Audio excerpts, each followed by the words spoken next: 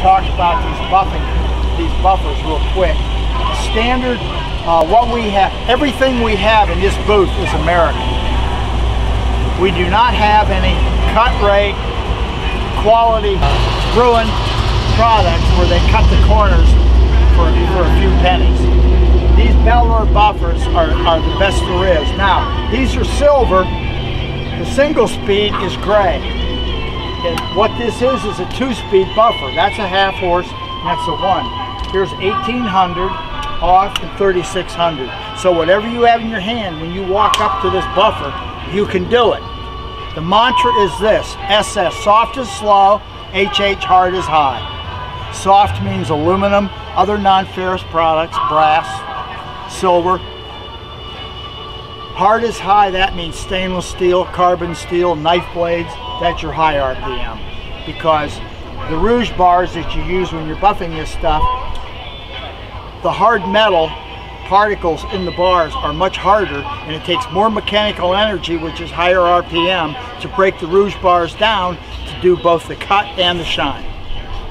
So that works out good. These, these ends that go on, these are really handy. We came up with these. Threads on there.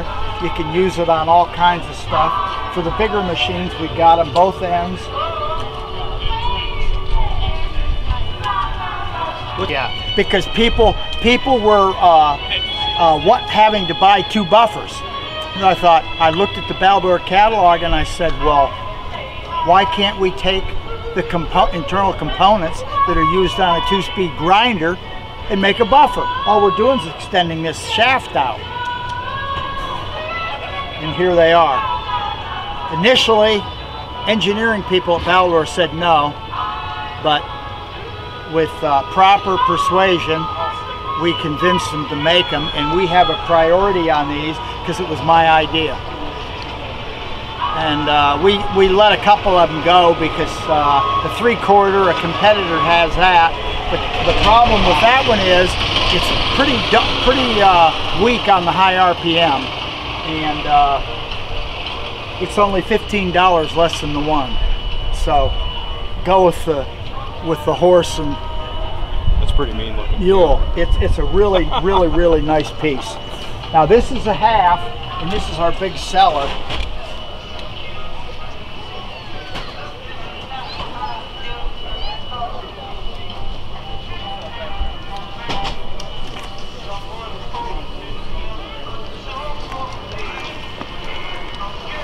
These are made in the U.S.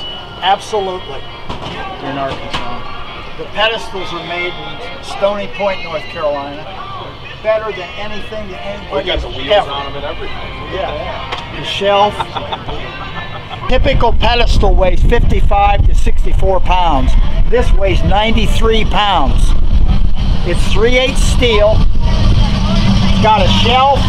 You could stand on it, it won't break.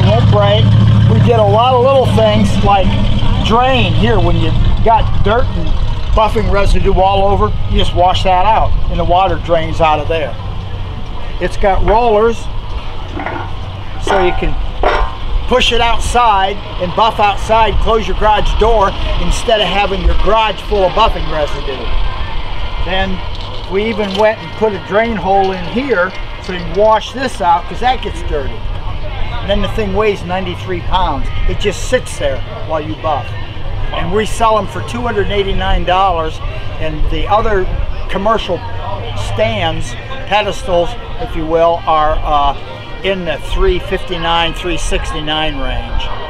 So we're like $80, $80 under, and this is American. It is not Chinese. And then of course it's powder coated, which blows everybody's mind. Well, it's powder coated too. The two, uh, two horse, and of course these are available. They go on up to five and on up. This is fairly popular in uh, shops that do chrome plating.